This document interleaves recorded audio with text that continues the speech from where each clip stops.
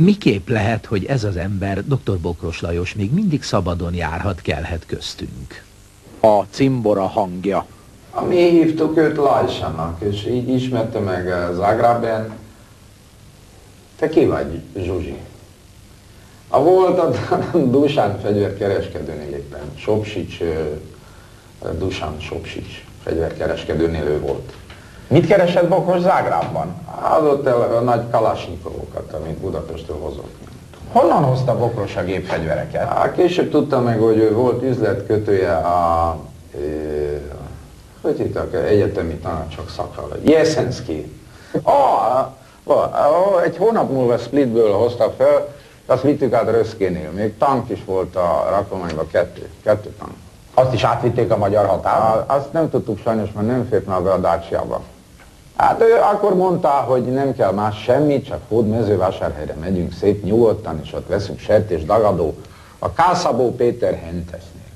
Akit maga a családjával Akit együtt. Én, nem én, ez hazugság, a Bokros volt. Miért tette volna Bokros ezt a hent? Hát ő még a rendőrségen is be vallotta, hogy vegetáriánus, hát ezért nem, nem ez. Az egész nagy Szabda volt, bocsáss meg. Az én csak tettem a kosárka a dagadóhoz, azt se nyúltam semmihez, ettem egy kis májat, ott pirított volt éppként, mert disznóles. Bokros lőtte le őket az egész csak. Én csak később lőttem le a kutyát. Azt miért lőtte le? Hát mert nem bírtam nézni, hogy szenved. Már két golyó volt benne, és ugrott volna rá a velős csontra.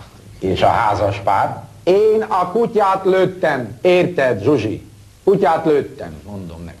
Én a pult mögé már nem láttam, egyrészt a pirított máj volt a számba, és a kutyának a lövésével voltam elfoglalva. Te tudod ugye, hogy így volt. Ne röhögjél már, maradjál.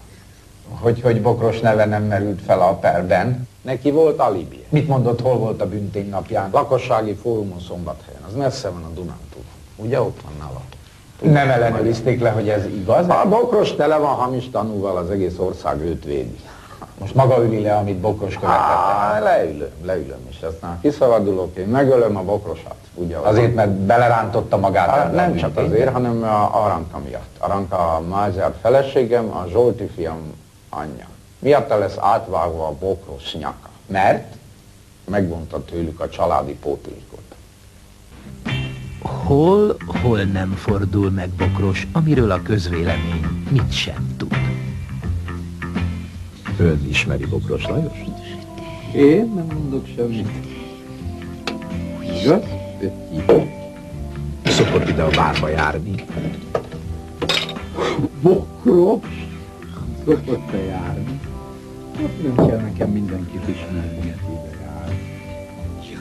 Te ismersz valami Bokros? Töttyi. Én? Kérdezze meg a Dodó. Ki az a Dodó? Aki a kapuban áll. Ön a Dodó úr? Te meg mi a Bokros Lajos szokott-e ide járni? Ja. Húzzál el az édesanyád vérvörös jó? De nagyon gyorsan innen. Takarodjál el a igen, az anyád ott várd meg az apát. Ha várjál már, bubukám. Miről van szó, hapsikám? A bokrost keresed? Mert én is tartozik száz lepedővel, átpasszoltam neki egy ilyen ukrán csajt, a Ludmilát, azt mondta, hétfőre itt a lémon, meg neki, ha megtudom, hol futatja a nőt, oda megyek a bandzsalakatossal és a kismihokkal, de összetörjük kezit lábát. Mondd meg neki, hogy ezt üzeni Alibaba. Engem mindenki ismer a szakmába, én köpök rá, hogy a haverod kancellár lett, vagy mi. Hozza Zsozsot, vagy a Ludmillát, vagy annyi neki, értsük? Ezt mond meg a bokrosnak.